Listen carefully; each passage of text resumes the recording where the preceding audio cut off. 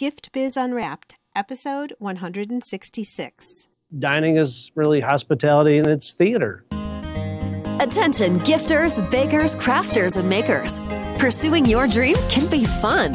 Whether you have an established business or are looking to start one now, you are in the right place. This is Gift Biz Unwrapped, helping you turn your skill into a flourishing business. Join us for an episode packed full of invaluable guidance, resources, and the support you need to grow your gift biz. Here is your host, Gift Biz gal, Sue Monheit. Hi, it's Sue, and thank you so much for joining me on another episode of Gift Biz Unwrapped. At the time you're listening to this, if you're listening the week that it's gone live, my new book, Maker to Master, has been out now for a couple of weeks. And I have to tell you, I am just so thankful to all of you who supported me with this venture, bought the book, and have gotten in touch with me. The responses have been incredible, some of them bringing tears to my eyes. So, thank you for that. If you're listening here for the first time, have no idea what I'm talking about, and are interested in checking out the book, it's called Maker to Master, and you can find it on Amazon, but also through this link giftbizunwrapped.com forward slash Sue's book. Now, the reason I bring it up is those of you who have read already know I highlight business owners of a lot of companies that have been represented on the podcast. And I've done that because one of the reasons they've been on the show is that they have been perfect examples of the way to do business right in one way or another. So, in writing this book, I brought up a company that I had not interviewed yet. And actually, they don't totally fit our area here of gifters, bakers, crafters, and makers because this is a restaurant called Bluegrass. But they are a model business. And I had to put them in as an example in one of the chapters of the book. So then, yeah, I had to have Jim come on and do an interview with me. So that's what this show is all about. In fact, it was funny because I walked into his restaurant, said hello to him, and I'm like, Jim, we got to schedule a time for you to be on the show because you're going to be in my book. And to be in my book, you have to be on the show. And he's like, okay, when? Let's do it. so that just gives you a little behind the scenes peek of what Jim is all about. And it's clearly going to come through when you listen to him speaking. Let's have me stop rambling on and on. Let's get to the show. Today, it is my pleasure to introduce you to Jim Lederer of Bluegrass. Jim has spent over 30 years in the restaurant business.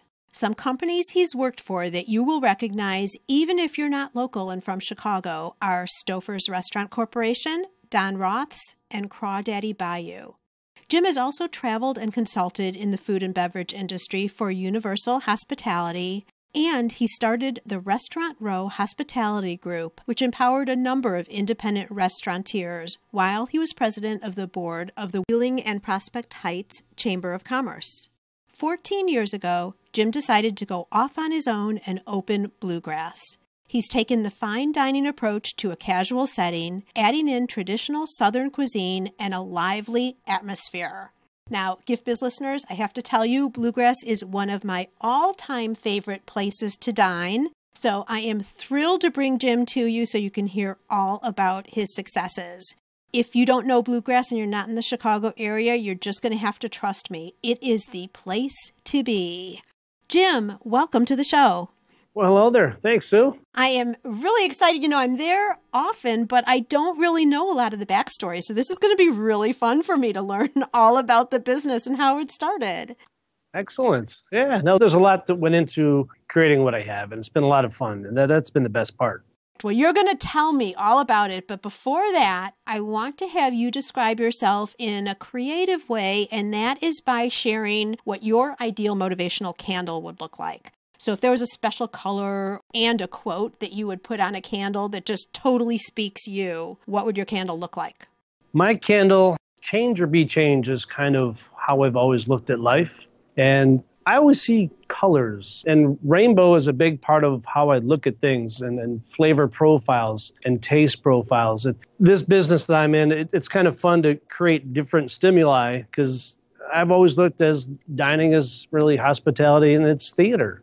And people are always looking around and seeing different things. Everybody sees different colors. So I see a myriad of colors, which is kind of fun. And every day you see different things that pop up. Yeah, and I love that you equate that back to food, like the different layers and depth of a dish, right? Correct. Okay, why the restaurant industry? How did that all happen?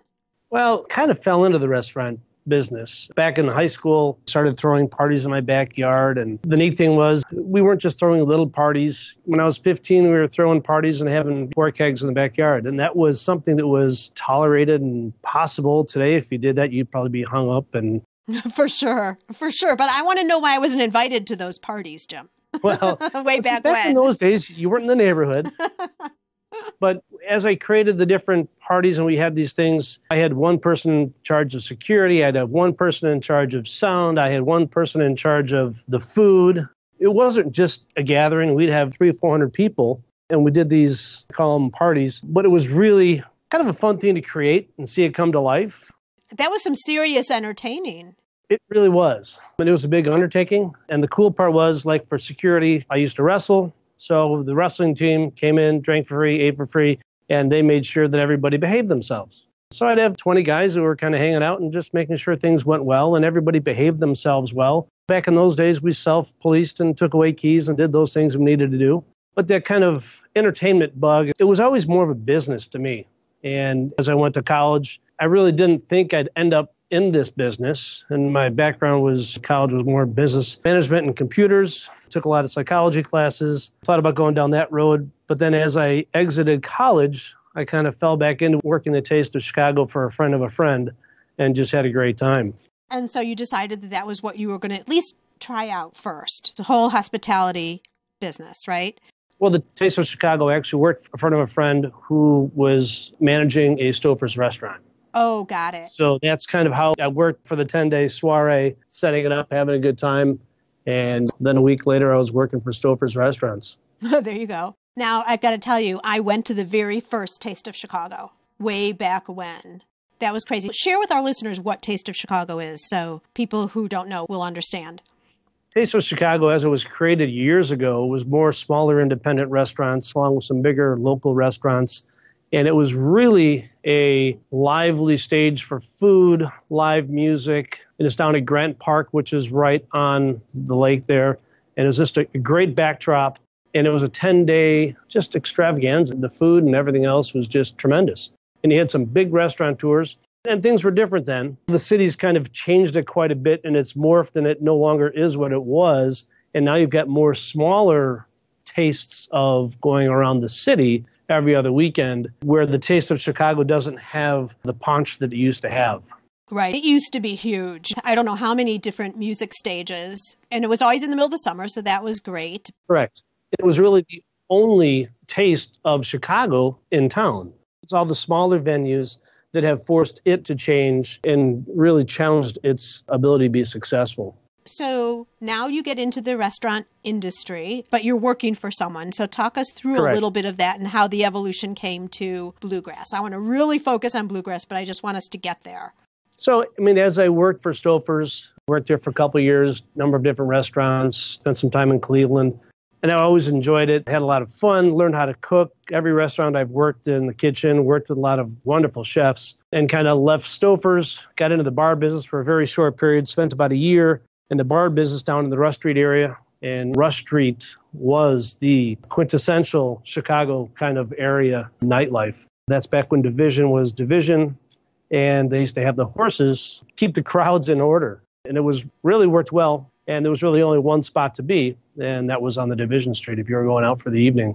So as I learned the bar business, I learned that that was something I didn't want to do for the rest of my life. Met up with a guy, Don Roth, and Don Roth really took me under his wing and was almost like a fatherly figure where he kind of taught me the business part of the restaurant scene and relationship building and fine dining and how to manage and run a business. And I worked for the family for about 10 years and started their single, left their married with two kids in the house. you know, really kind of grew up. And as I left him, it was somewhat surreal. But as I parted with him, I said, You taught me how to fly, and it's time for me to fly the nest. And we had a great relationship for years, still very close with the family. And that was just one of those things where that was really where I grew up in life. I spent 10 years there. And then left there, went to work for Lettuce and Daniel. And then I further refined my corporate skills and really refined my business skills as far as how to operate a restaurant. Lettuce has an incredible reputation as well as incredible systems. So it was really a great refresher as far as systems management because I was with an independent for about 10 years. Then I left there, and opened up Crawdaddy Bayou, where it was a southern concept and it was a five and a half acre site, three and a half million dollar build outs, 450 seats. It was just a large kind of southern restaurant. And we went from zero to $5 million in the first year. We had a great team and it was really a lot of fun. And, and you know, did that for about four years. At that point, I knew that I knew how to open up a restaurant and that was kind of a, a hinge pin and once again stepping to the next part of what i wanted to do. Left there did some consulting and then found that traveling the country was fun for a few weeks. But then again after about a year you know, with kids it was like hmm maybe this isn't what i want to do. I want to stop you real quick here and point something out gift biz listeners as you're listening to what Jim has to say, and if you maybe find yourself, you know, you're still in a nine to five, you're working for somebody else, if you listen to Jim, every single step along the way that he took, he was learning something that then he was going to be able to use later. So I think there's a lot of feeling like, oh, you know, I'm working for someone else. I want to ditch my nine to five. Like that's what everyone talks about. Sure. Take a look at your situation where you are now and what learning can you capture that you'll be able to use to enhance your skills, know more. If there are things within your current business that you could volunteer for where you'll pick up more information or more connections, use the place you're at right now, even if you're looking at something for the future, because there's really valuable learning to be had. And that's what Jim was doing this whole time. And there's no question. Any job I took, I would always look at it as an individual I'm working for.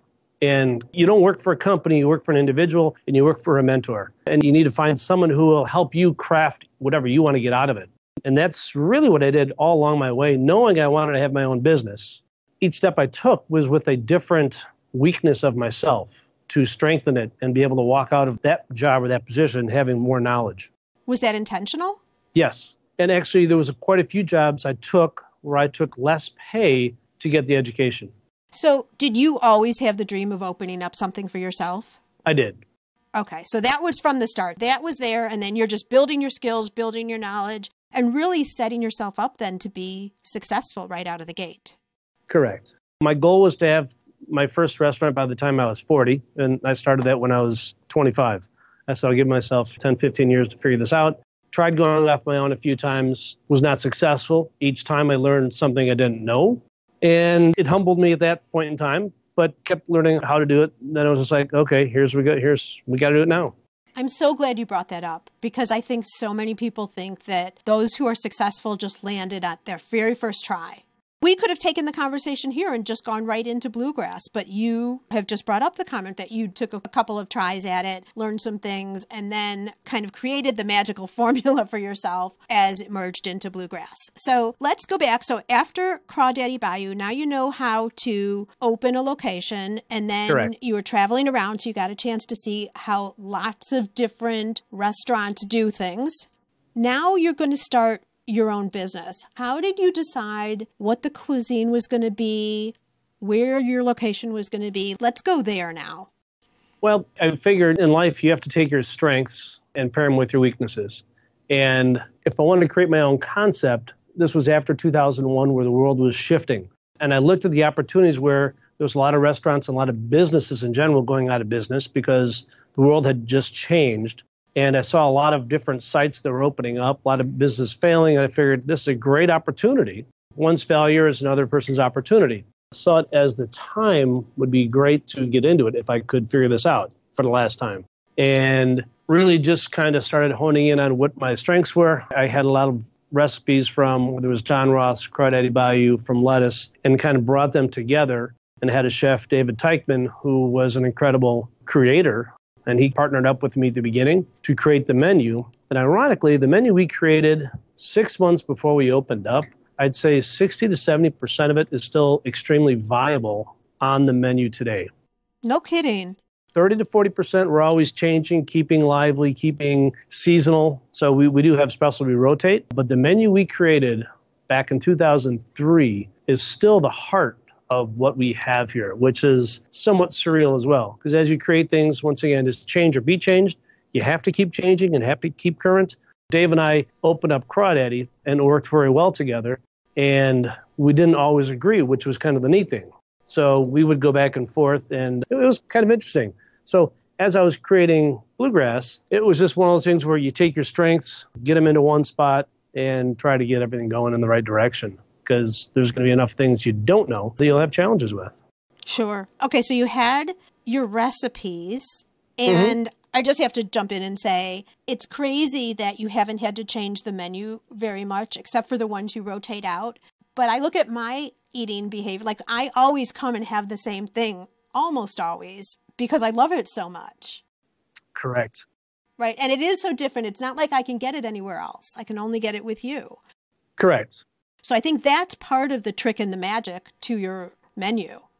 And that goes back to understanding the psychology of menus, which is a whole separate conversation.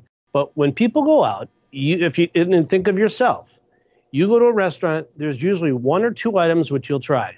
Whatever restaurant you want, if you have an urge to have something, you're going to go, let's go here, let's go there. And each restaurant you go to, you usually try one or two things on that menu. Not many people really go through a menu and we'll try a number of different items on a menu. So as we created Bluegrass, we've got a lot of different things so we can attract a lot of different people. And that goes back to one lesson I learned from a guy, Bob Chinn. Bob Chinn, for those of you who don't know, his restaurant's a seafood restaurant in Wheeling, and he was in the top three uh, grossing restaurants years ago. He's been around for about 30 plus years. But if you look in his dining room, he's got black, yellow, white, green, 30 year olds, 20 year olds, two year olds, and 102 year olds. The diversity that he has in his restaurant has really created his success. I've never enjoyed his food and service, but I've always admired the way he has a dining room that just has a myriad of people. We tried to create that in a smaller scale. We've only got 85 seats. So, Gift Biz listeners, have you ever heard of the psychology of a menu before? I think it's always so interesting to get behind the scenes information from businesses, even though we all know restaurants. Who knew about this whole psychology of a menu thing? Anyway, we're going to get back to Jim's story right after a quick word from our sponsor. This podcast is made possible thanks to the support of the Ribbon Print Company. Create custom ribbons right in your store or craft studio in seconds. Visit theribbonprintcompany.com for more information. So, there's another thing that you did different than the norm, I would say, and that is your location. Usually, you'd think with a restaurant, you're going to want to fit yourself into where the traffic patterns are, where people are always passing. Right. And you're a little bit out of the way. How did that come about? Well, that was pretty much intentional. Of course it was. Ideally, once again, through business, I've learned that if you have a good product, that's the old thing build it and they will come. There are so many mediocre restaurants and businesses out there. If you have a good business, you have a good product, people will seek you out. So, as I was creating what I wanted to create, part of the idea was value. And in order to have a good value in our product, we had to keep the prices down so I couldn't be paying top dollar for real estate. So I was looking at a number of different sites that were what I call B and C sites. I didn't want to be on Main Street USA. I wanted to be able to work for myself and make money for myself where I wasn't just paying the landlord and fighting myself because you know you're going to have bad days and, and you have to set up for failure before you set up for success. So I found a nice C site that was really a vanilla box. It had nothing to offer. It was in an industrial park, and we just kind of brought it to life. You sure have. No question about it. I mean, rarely is there a parking space open, and rarely is there a table open. But people had to find you, people had to learn that you were there. So, in the very beginning, once you were established and open, how did you attract people to you?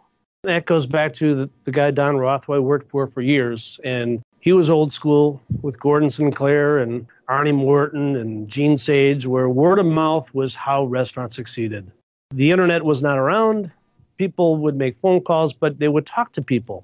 And we still work our dining room in the old school way where we know our guests, we know their kids' names, we know where they work, how often they come in, and what they want to see for service. and we take care of our guests. So they walk out going, wow, that was really nice.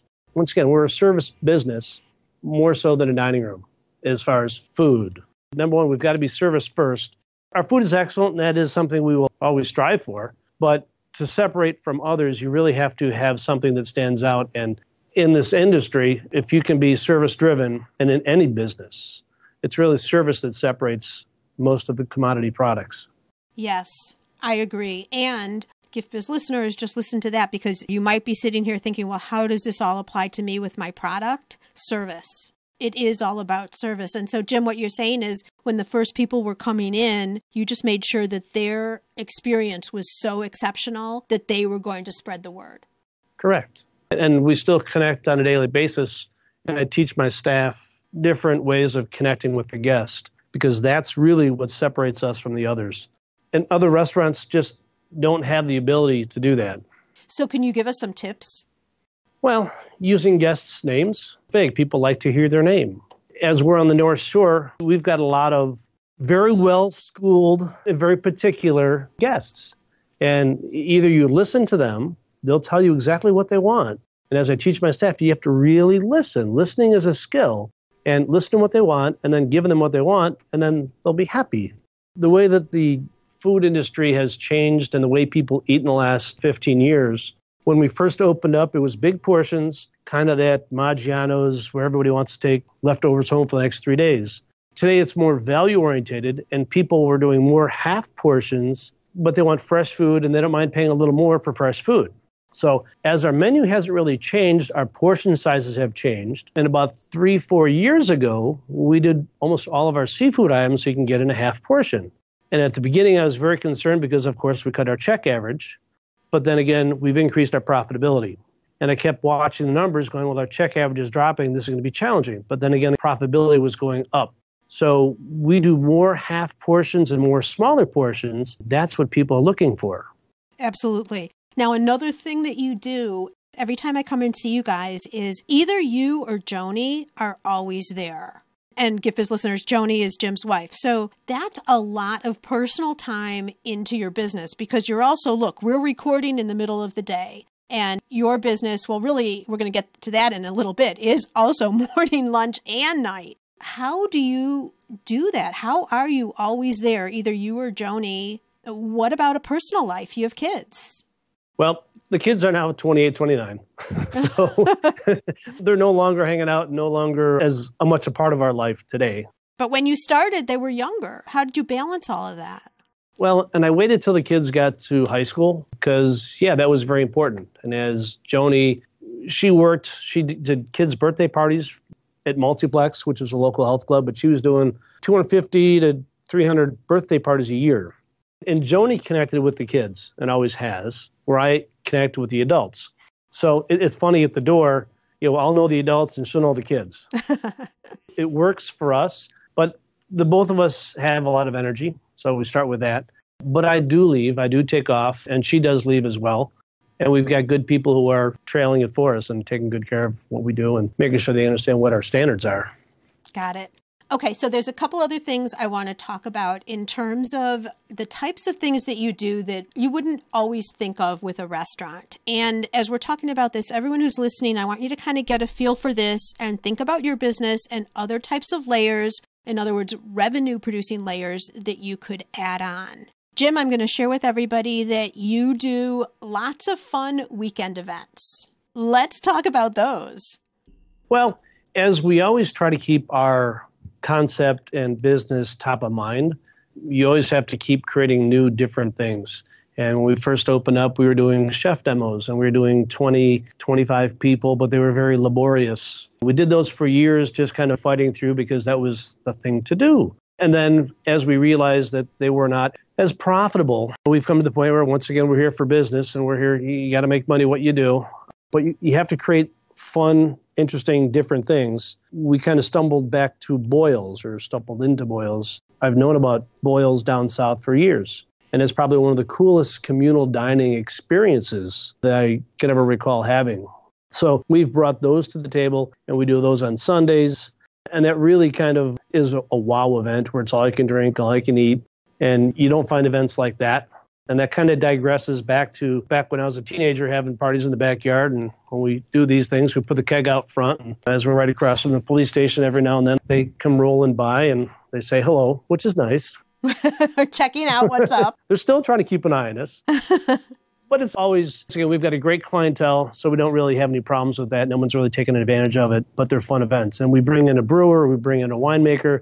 So the people come in, number one, you've got the food, and then you've got this brewer that's talking about the beer that he makes, and you've got a winemaker that's talking about the wine she makes or he makes. So you walk out going, wow, that was something very unique, very different. Yeah, it's always been an experience. I mean, I was there during your chef demos, and I was recently there during one of the boils. And I see that as a great opportunity to take what would normally be downtime for you for your restaurant. Sundays, usually when you'd be just closed, and Correct. using that because you've already got the space, your fixed costs are already there, you're already paying the rent, but then adding in another layer. That's really interesting. I also like the partnering part of that. Now, do you coordinate all of that, or do you have someone else doing some of the behind the scenes things to make these events come off the way they do?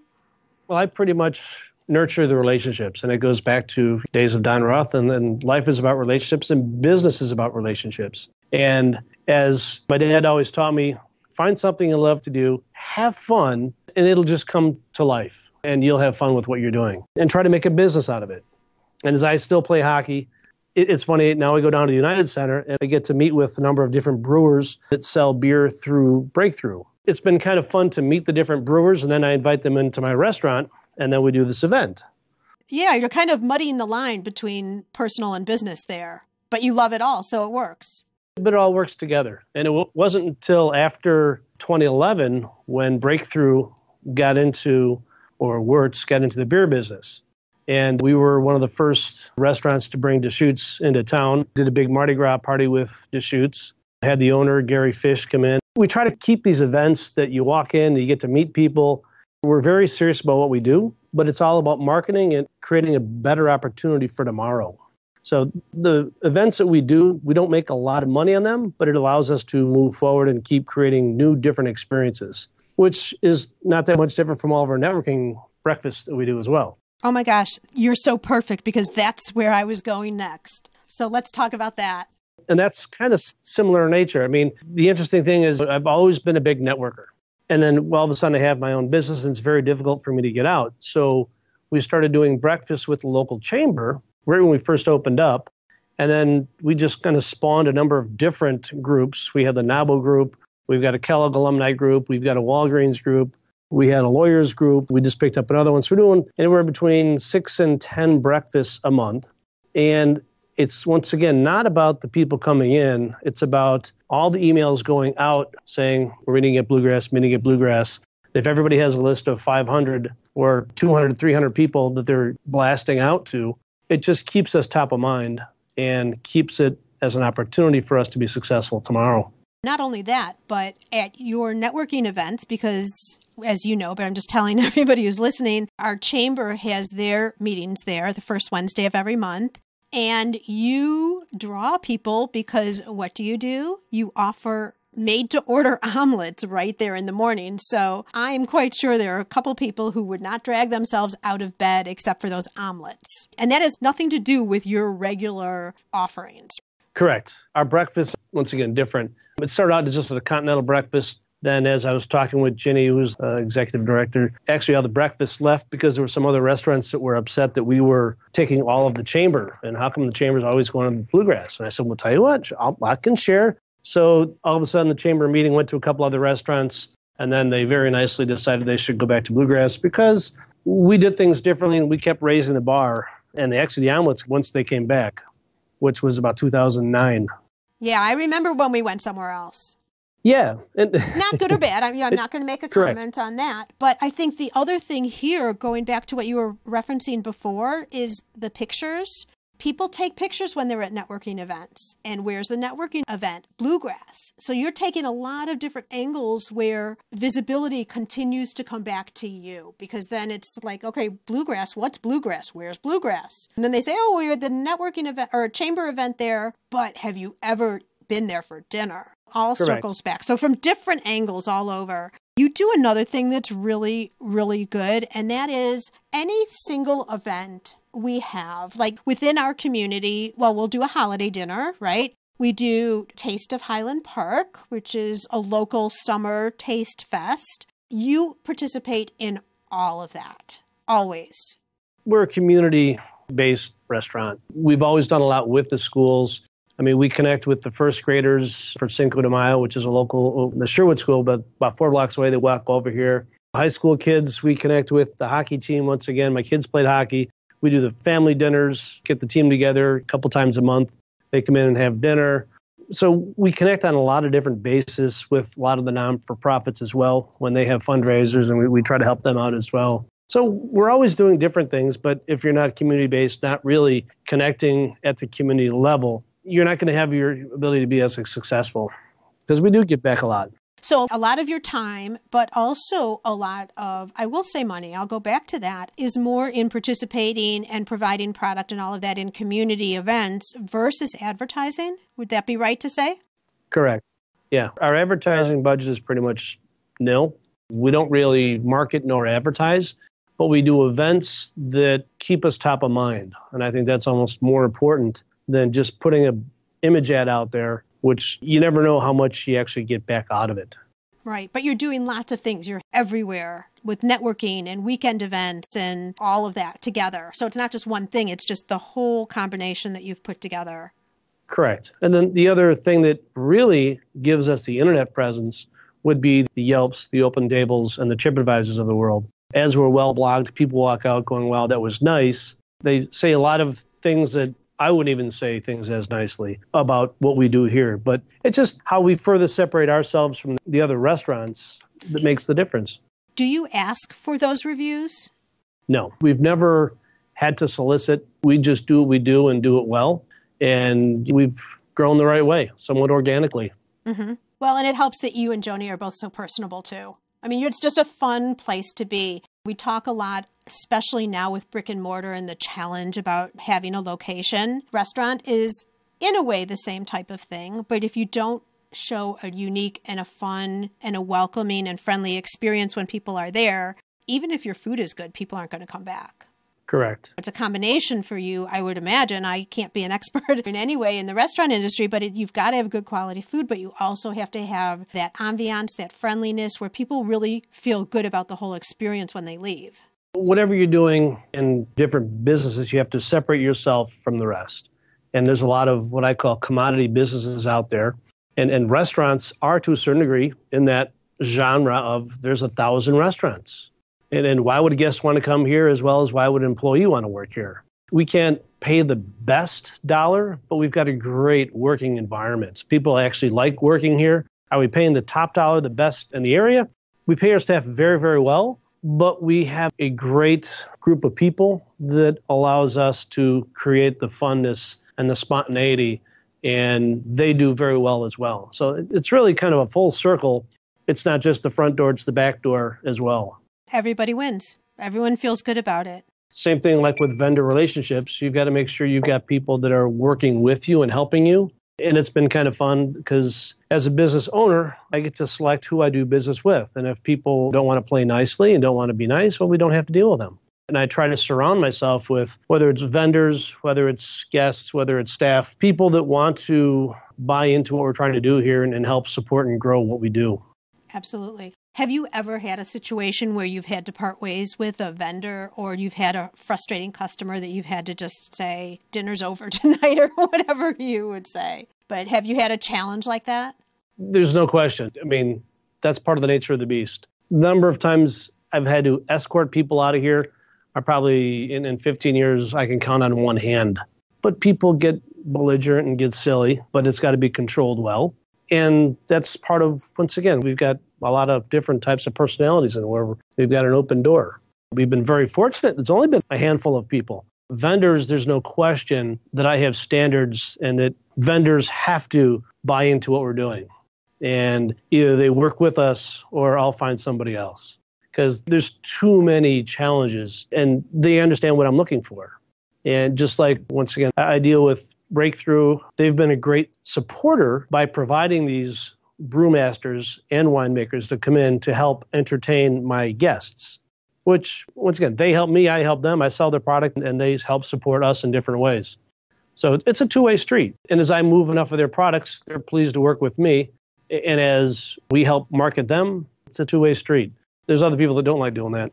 Then you guys just aren't a match. Correct. So as you look at the future you've referenced already as we've been talking that you've really had your eye out to see how things change. An example was the dishes. People are looking for really nice, solid quality, but smaller sizes.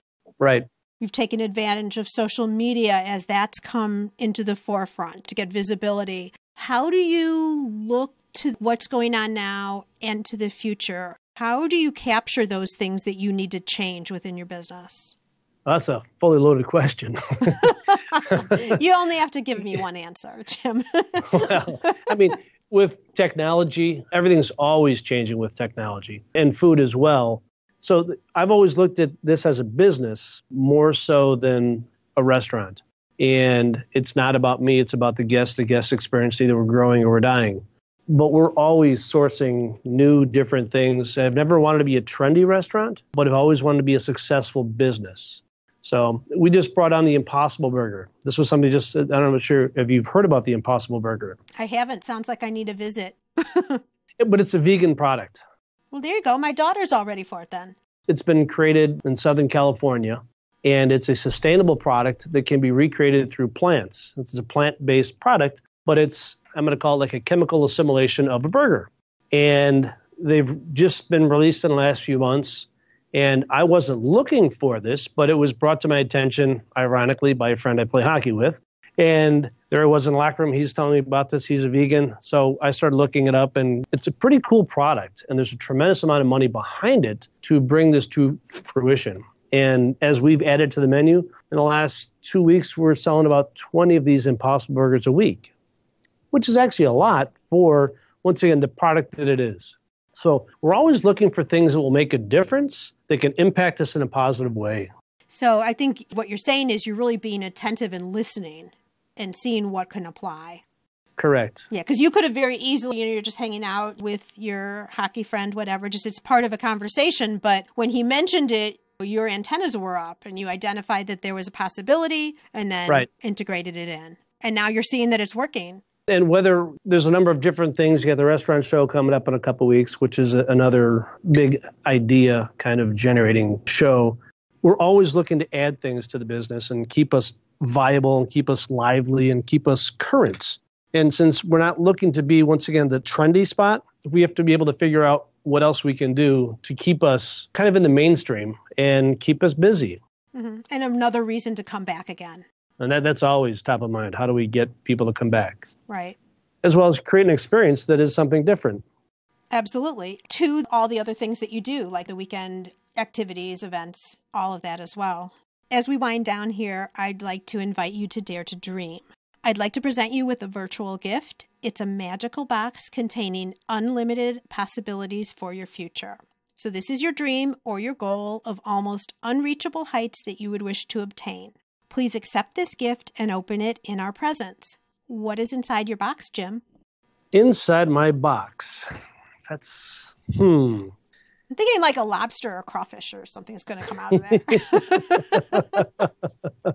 I've always tried to live my life and enjoy what I have and not live beyond my means. And it's always been fun and enjoyable that I've been able to keep things going and growing my life. And as I'll be a grandparent in a few more months, see the second child get married off, health is a big thing to me. So having a healthy body and a healthy mind is probably the most important thing moving forward in life. Totally agree. And congratulations. I can't wait to hear more about what's happening in the future next time I see you. Yeah, you got it.